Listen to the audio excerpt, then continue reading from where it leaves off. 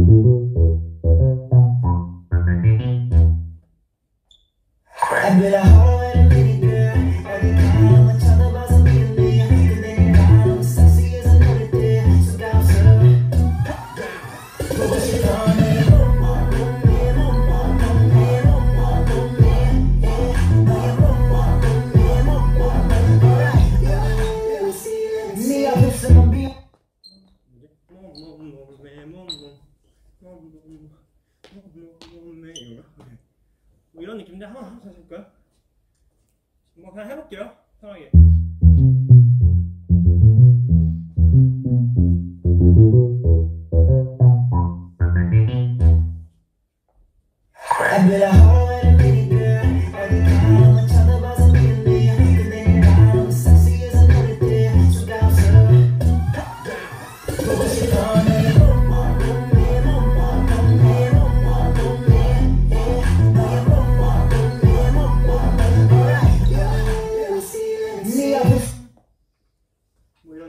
오케이 이런 느낌